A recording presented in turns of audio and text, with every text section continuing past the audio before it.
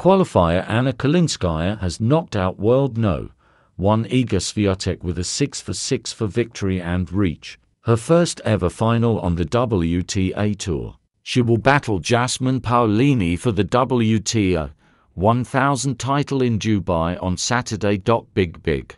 Upset. Uh, so yeah, that was the my plan to stay aggressive, uh, move her a lot, and uh, I'm happy I won. She's uh, unbelievable, and I'm happy I had the chance to play against her, and I'm sure we will play a lot in the future.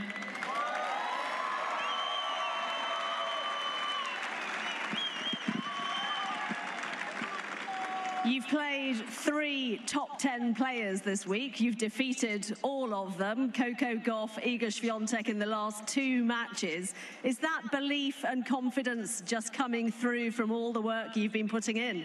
Yeah, definitely. I'm super happy with my team. Thank you, coach. Thanks, Dad. Uh, thanks. Uh, yeah, it's a pleasure to work with them. Uh, uh, I feel physically much better uh, than last year. Uh, big respect to my fitness coach who's watching now. Uh, yeah, that gives me a lot of confidence to play in such a high level. Here in Dubai, that was such a fantastic match, a huge win for you against Iga Swiatek. How were you so calm and swinging so freely against the world number one?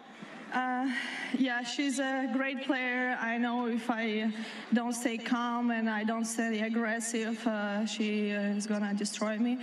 Uh, so yeah, that was the my plan to stay aggressive, uh, move her a lot, and. Uh, and next big update are this: Anna Kalinskaya and Jasmine Paolini will face each other in the final of Dubai.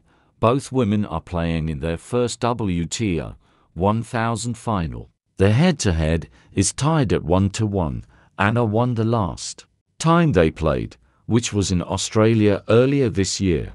Anna has beaten three top 10 players in a row this week and had to come through qualifying. Jasmine came back from 4 to 6 to 2 4 in her first round, but fought her way into the final. It's already been a life-changing week for both of them. Three top wins in three days for World No.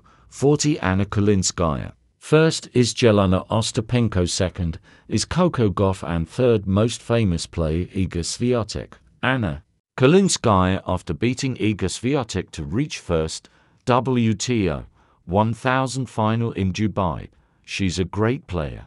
I know if I don't stay calm and aggressive, she's gonna destroy me. That was the plan, to stay aggressive Move her a lot. I'm happy I won. She's unbelievable. I'm happy I had the chance to play. Against her, I'm sure we'll play a lot in the future who wins the title.